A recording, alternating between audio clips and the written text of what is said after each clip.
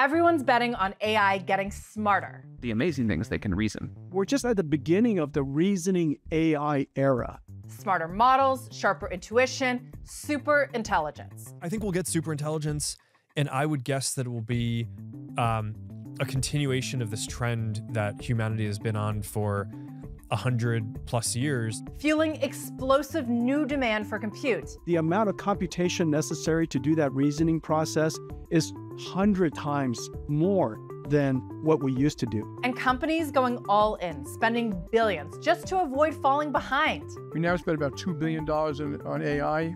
We have something like 600 act, actual in-use cases. That number will probably double next year and maybe triple. But what if it's all been overpromised and we're heading straight into a bottomless money pit?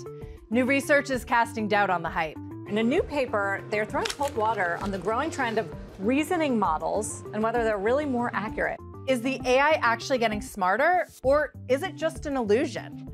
I'm Deirdre Bosa with the Tech Check Take, AI's reasoning blind spot.